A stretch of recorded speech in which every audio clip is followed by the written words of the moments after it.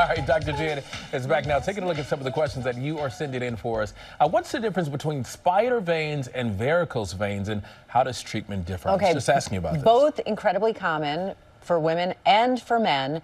Spider veins are superficial, they're flat, they're smaller in diameter. They're that, I wish I wasn't wearing boots. I would, well, people might not want to see mine. Um, more common around the ankles. I've had them since I was pregnant and a resident. Um, they can even occur on the face, but they're mm. flat, they're not painful, and they tend to be smaller. Varicose veins, more common in the leg, but also potentially can occur other places in the body, are those ropey, yeah, you can see them. painful, um, and they have a different cause. Treatment differs for both of them. The superficial spider veins can easily be injected with what we call sclerosing agents. Varicose veins can be injected, but uh, injected, but most of the time you have a vascular surgeon who ties them off and actually removes them. It's called vein stripping.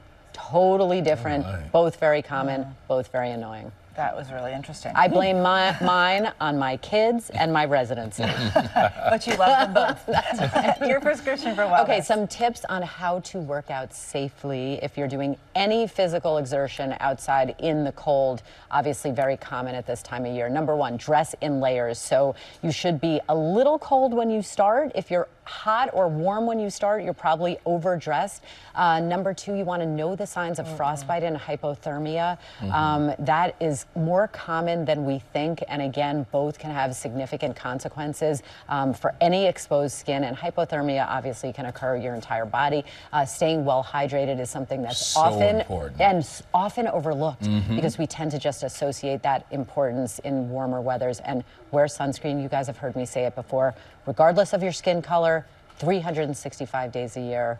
I know my and friend, put it on you your neck. Your neck. I'm a student well. at her mini med school. yes, you know, put it on you your neck. Good, my friend. Yeah, right. I'm not working out if I could get hypothermia. It's not okay, worth it. there you go. That too. she ain't working out when the sun is outside. all right, folks, we love to hear from you. So hit us up on Instagram with all of your medical questions from Dr. Jen at ABC GMA3. I'm trying.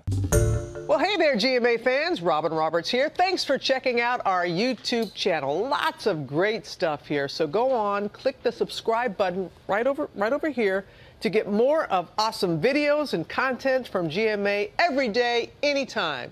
We thank you for watching, and we'll see you in the morning on GMA.